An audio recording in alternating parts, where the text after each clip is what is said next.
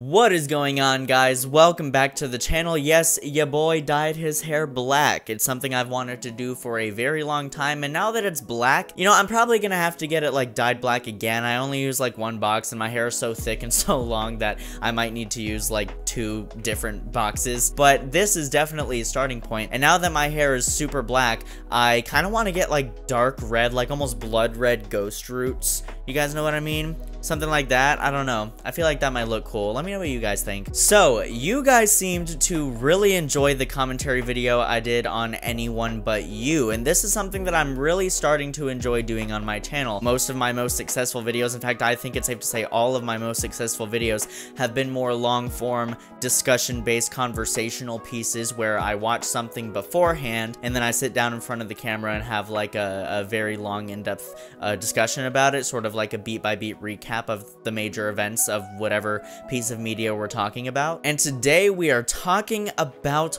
Wonka. So Wonka was written by Paul King and Simon Farnaby, and it was directed by Paul King, a director who directed directing, director, director, Paddington 1 and Paddington 2, which are incredible films and very unexpectedly so. I don't think anybody was expecting Paddington 1 and Paddington 2 to be seen as not only as two of the best uh, family films of all time, but like a lot of people consider those movies to just be some of the most entertaining movies ever made. Just the joy and the the energy of those films is so infectious. Paddington 2 in particular is just fucking amazing. Like not even just as a, a nice family movie that you can watch with your whole family on like a fun movie night or something, but just as a film as well, like writing, directing, acting, cinematography, everything about it is genuinely so fucking good. So that actually got me really excited when it was announced that Paul King was going to be directing this film as well and also have a hand in the writing room. Yes, there was that one viral trailer with that one moment that got clipped out of Timothy Chalamet being like, so quiet up and listen down. No, scratch that, reverse it. Yes, out of context, out of the context of the film in that trailer, it it was it was pretty cringe. Let, let's not lie to ourselves. Even those of us who enjoyed this movie have to admit that line is pretty fucking cringy. So in effect, essentially, this film works as a prequel to the original 1971 film Willy Wonka and the Chocolate Factory. Our main cast here consists of Timothy Chalamet, or Timothée Chalamet, uh, as Willy Wonka himself, and then we have Calah Lane as Noodle, Olivia Colman as Mrs. Scrubbit, Paterson Joseph as Slugworth, and then we have Hugh Grant in here as the Oompa Loompa. Critical and commercial reception with this movie was actually fairly surprising to me. It has a 7 out of 10 on IMDb on Rotten Tomatoes, 82% critic score, and a 91% audience score. I remember when those numbers came out, I was like, what? I mean, it, the movie was being directed by Paul King. I didn't think that it was going to be a bad movie, but just the vibes that I got from the trailer and the general discussion around it, I didn't expect this level of praise. More so what I expected is actually what Metacritic gives us, which is a 66 critic score and a 5.9 user score. As I said in the Anyone But You video, Metacritic is brutal. I think it is the most brutal critic site on the internet. So we're about to get into the beat-by-beat -beat recap of all the major events in the film, and it is all with the goal of answering one question. How hard did the Willy wonk? Was I satisfied with the way that this movie wonked my willy? What was the quality of the wonking upon thy willy? Well, let's jump into it. Spoiler warning right up front. We're gonna go through everything that happens in this movie, every major spoiler, so if you have not seen the film and you care about spoilers, go and watch the film, come back to the video. If you don't care about spoilers, then stay and have a good time, and if you've seen the film, let's have some fun talking about it. Willy Wonka, an aspiring magician, inventor, and chocolatier above all else, arrives in Europe to establish his chocolate shop at the Galeries Gourmet. It's this sort of rundown abandoned building that's available for rent, but he's not very liquid right now. He doesn't really have much money, so he can't afford it. So he has to establish a name for himself and start making some money so that he can achieve this dream of this fantastical chocolate shop that he has in his head, this vision that he has. He is coerced to stay at Mrs. Scrubbit's boarding house by her henchman, Bleacher. And despite the warning that Wonka gets from an orphan who is also living at this boarding house named Noodle, her warning to for, for for him to read the fine print of the document, Wonka signs it anyway because he is illiterate. He cannot read. He certainly has a way with words and a way with charisma, but the dude cannot read. One of the things that was included in this fine print is that everything has a fucking fee. Just like the college I'm staying at now, they find a way to insert an extra fee anywhere they goddamn please. And it's established that Willy is going to have to pay these people 10,000 whatever the name of the currency is in this movie. I already forgot what it was. Let's just say $10,000 for the sake of this video. We can just say $10,000 so that it makes more sense for us. So to pay them off, Wonka introduces his newest invention, Hover Chocs, chocolates that make people fly, facing opposition from three rival chocolatiers who are living right across the street, or I guess operating their business right across the street from this abandoned uh, property that Willy Wonka wants to rent out for his chocolate shop. And these rival chocolatiers call the chief of police to confiscate Wonka's earnings for disrupting trade and selling without a chocolate store. Unable to pay the expensive fees imposed on him by the contract, Wonka is captured and forced to work in a laundrette for Mrs. Scrubbit alongside five other captives, including Noodle. Learning of a so-called chocolate cartel plot involving the rival chocolatiers, Wonka makes his escape with the help of Noodle. And I just gotta say, this is genuinely the heartbeat of the film for me. There's one thing with Wonka's past that really really hit me towards the end, and then also his relationship with Noodle is so sweet, and we're going to get to that. So Wonka Noodle travel to the local zoo to produce his signature chocolate, and the thing is with this particular chocolate, he can't use regular old cow's milk, he requires giraffe milk. So at this zoo, they milk a giraffe named Abigail. And they've roped in all the other laundrette workers that are being held captive at this boarding home, so everybody's in on it. They're all looking to make money so that they can pay off their dues and be free, and of course, so Wonka can have his a dreamed chocolate shop. So together with the other laundrette workers, they embark on a chocolate selling crusade to alleviate their debts while using tunnels underneath the city to evade the police. The persistent thief of Wonka's chocolates is unmasked as an Oompa Loompa named Lofty, who reveals that the Oompa Loompas seek retribution for the cocoa beans Wonka originally took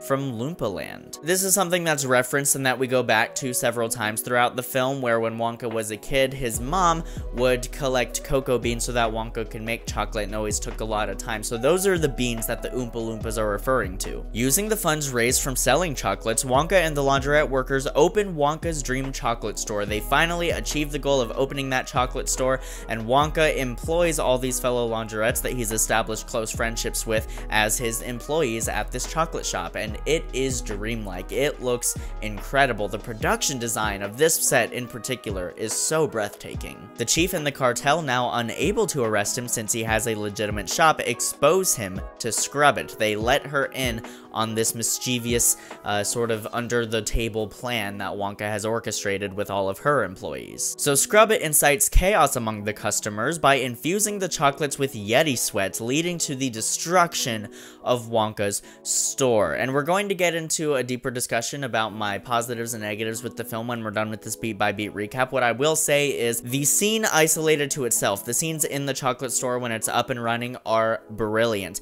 Writing-wise, though, this section of the film does feel a little rushed to me. It's like, oh, okay, he got the chocolate shop set up, and then it comes crashing down almost immediately. And where that would work for maybe a smaller victory, like, yes, he made his first stack of cash, and then it gets taken away from him, or there's like another reason why he's still not able to afford something.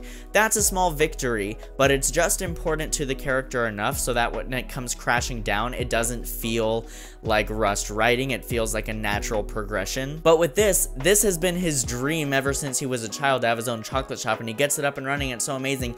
And then it, I mean, maybe just one or two more scenes within this chocolate shop and seeing it up and running and seeing the operations of it would have sufficed for this. But it, it just feels a little too immediate and a little too rushed for me. It feels like they're a little bit of forced emotion here in the script. I mean, it works for sure, but just from an objective critical standpoint, it is something I picked up on. So Wonka is given an offer, and that offer is that if he leaves town, completely ceases to exist in this area and not fulfill his dream of the chocolate shop, all of the debts of all of his friends that he has made at this boarding house will be paid off and they will all be free, including Noodle, who is the one that he arguably has the closest relationship with. And Wonka agrees. He agrees to leave town by ship to pay off everyone's debts except Noodle, who is kept at the laundrette by Arthur Slugworth. And there's a bit of a scandal going on here. Wonka was under the impression that she would be freed. We now learn that she will not be freed for reasons that we'll get into. Those reasons being that Wonka is able to deduce that Noodle and Slugworth are related based on this little pendant on a ring that Noodle has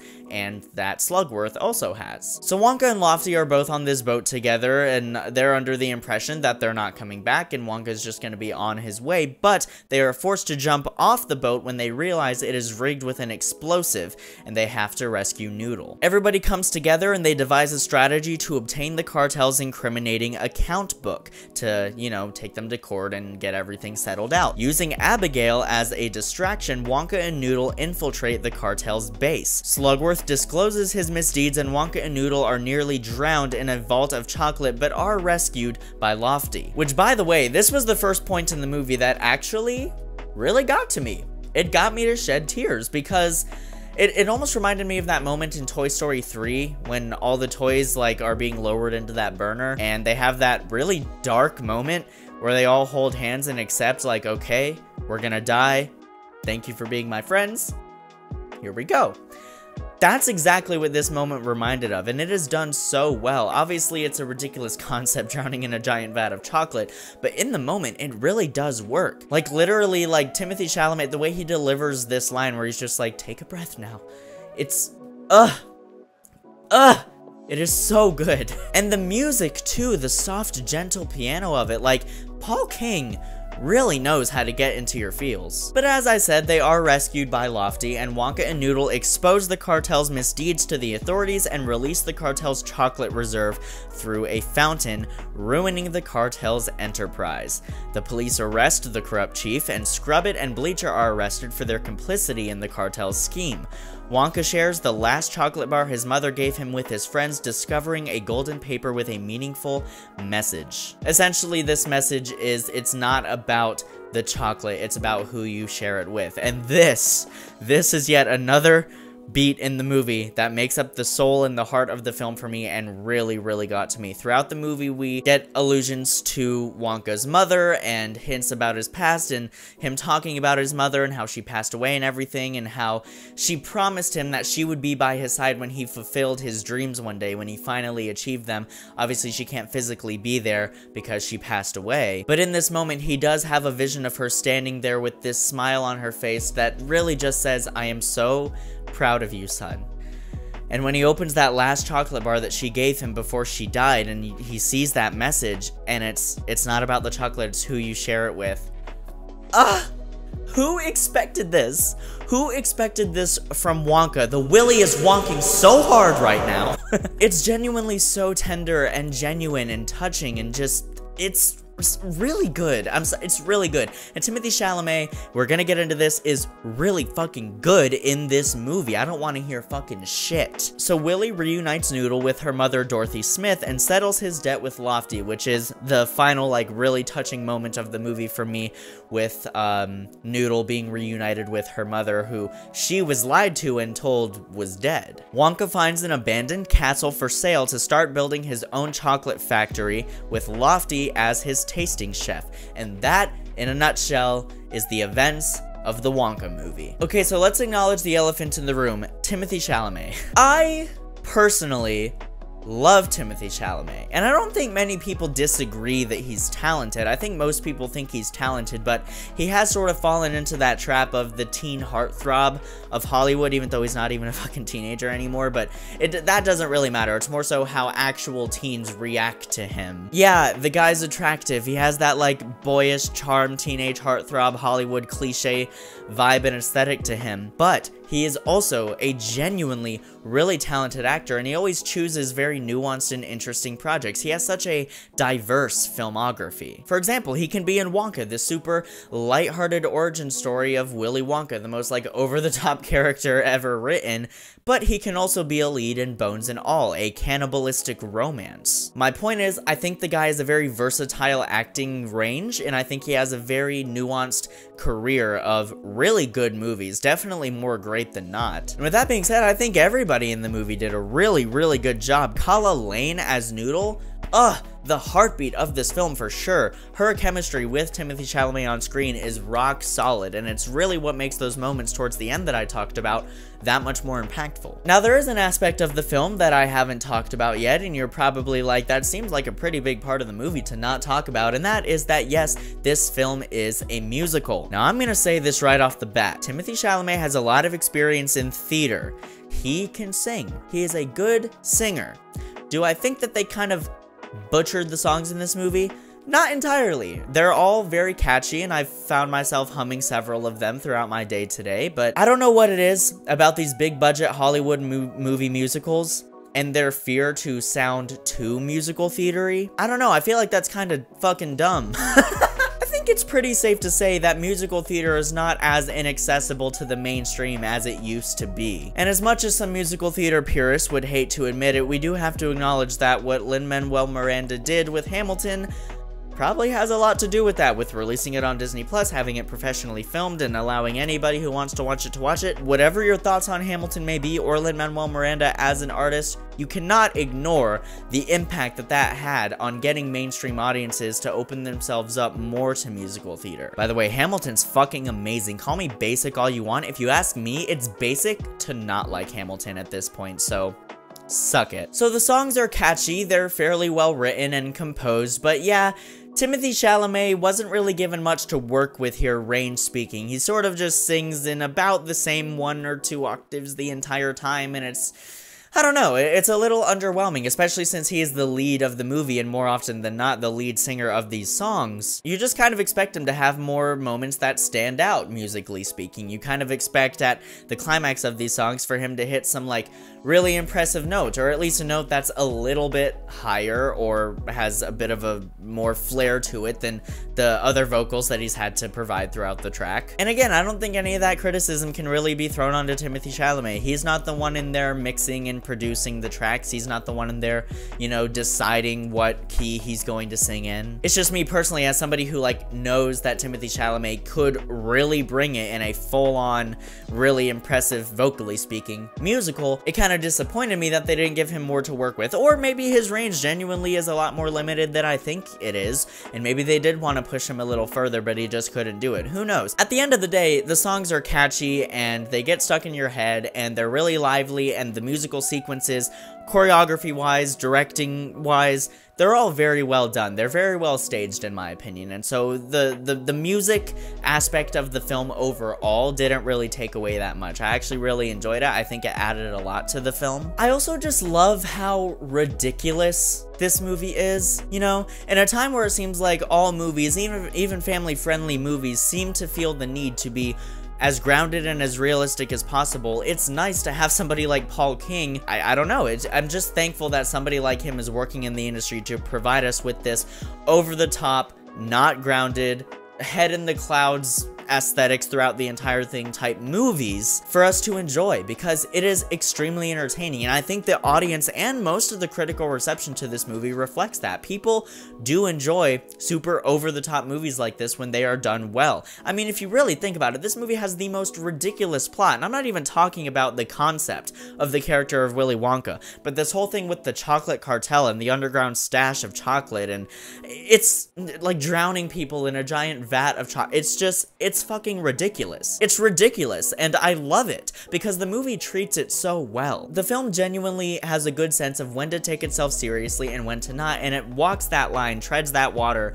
very, very carefully, I would say. The costumes, the makeup, the cinematography, the production design on a technical level, almost every aspect of this movie is really well done. The one technical aspect of it that didn't really work for me though was unfortunately a lot of the CGI, particularly with Hugh Grant as the Oompa Loompa, who does a great job as this character, and it didn't fully take me out of the experience, but anytime he's on screen, it is just very much like, that is a CGI character. Obviously, we were gonna know that he was CGI either way, but it's one of those things where, like, you kind of can't stop thinking about it as you're watching it. Didn't completely sever me from the experience, but it was definitely towards the forefront of my mind anytime he was on screen. I also appreciated how nuanced the story was. The backstory with Willy Wonka's mom, but also the backstory with Noodle and all the various plot points that come to a head in the finale and the climax of the film. It's actually surprisingly deep and nuanced and almost complex, I would say uh, for, for what you expect this movie to provide you with. Yeah, you could say at the end of the day, the message of the movie is super basic, follow your dreams, you know, love the people around you, and like,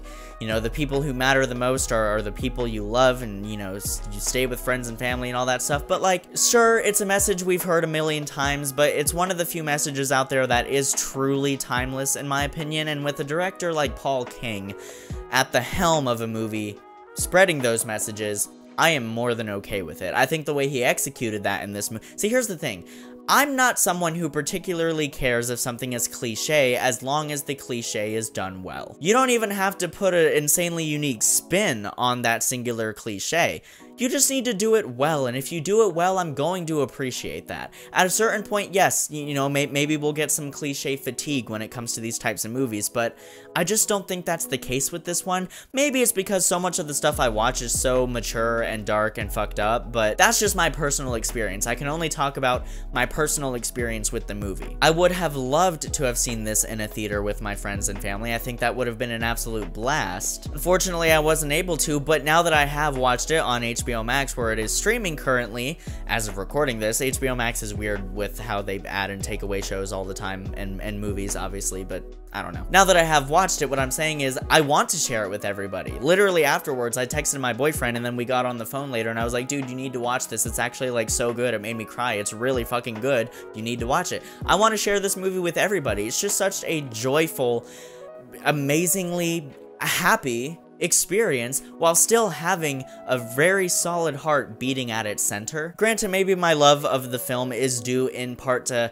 my somewhat low expectations going into it, but even going into it, I was still very optimistic and hopeful about it because of the talent involved, and so, I don't know, that that's pretty much my take on the movie. Guys, be sure to let me know what you thought of Wonka down in the comments. Just make sure you keep everything respectful down there. I really want my comments to be a safe space for everybody, and I need to start saying that in every video because some people haven't gotten the memo. Legitimately though, guys, I'm really curious to hear your thoughts on this film. It's not as polarizing as I thought it would be. Most people who have seen it seem to be at least like, oh yeah, yeah, that was decent, or all the way to where I'm at, where like, that was actually kind of great. Really curious to hear all those thoughts. Thank you guys so much for watching. Look forward to more videos coming very, very soon. I have a lot of really fun ideas, really cool things that I'm working on. Still working on the Walking Dead Season 2 video. If you've watched my Anyone But You video, you know it. You know why it's taking me so long, but I promise it is coming. I am in crunch time on it right now. Really, I'm, I'm, I'm handling a lot of things right now okay? Uh, I just got done with midterms in the spring semester of my college. Um, time I did I just have an aneurysm? Spring break ended, Easter just happened, and oh yeah, don't even get me started on that whole controversy. Not that there's anything in this room that would lead you to a conclusion of where I would stand on that controversy. I really can't think of anything that is in here that would even hint at a at a at a at a implication of, of my stances. So at the beginning of this video, I said we were going to answer the question, did the Willy wonk. Well, I'm so happy to say that this was the best wonking of the Willy that I've personally ever experienced. My Willy was so satisfied after watching this movie, it was wonked so hard and it was wonked so well with such care and heart. Genuinely the best wonking experience I've ever had on my Willy.